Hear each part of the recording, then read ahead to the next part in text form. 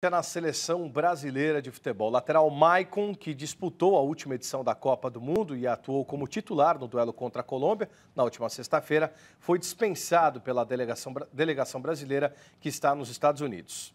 A informação foi divulgada pelo coordenador da seleção, Gilmar de Rinaldi, na Flórida. Ele agradeceu os serviços prestados, parecia que, ó, obrigado pelos seus serviços prestados, e agora você está sendo desligado da seleção brasileira. Aldo inicialmente falou que foi, é, foram problemas indisciplinares.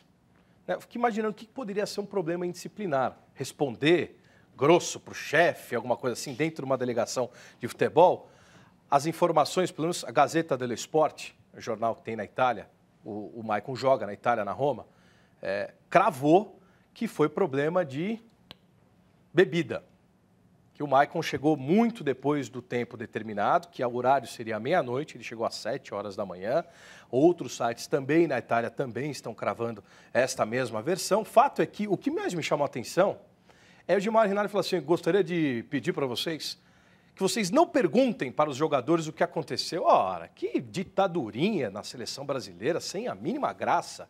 Quem é Gilmar Rinaldi também para perguntar, para exigir que o jornalista não vá atrás da história?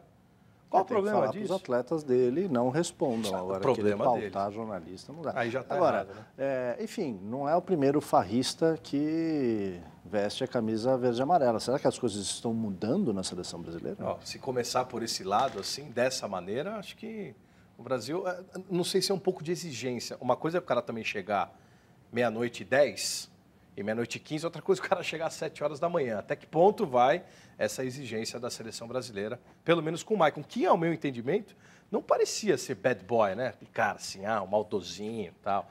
Mas diz que o negócio foi. Tem vários sites aí dando que a noite foi, foi, foi uma festa na sexta-feira depois da vitória lá em Miami. Tudo bem, voltamos amanhã? Amanhã.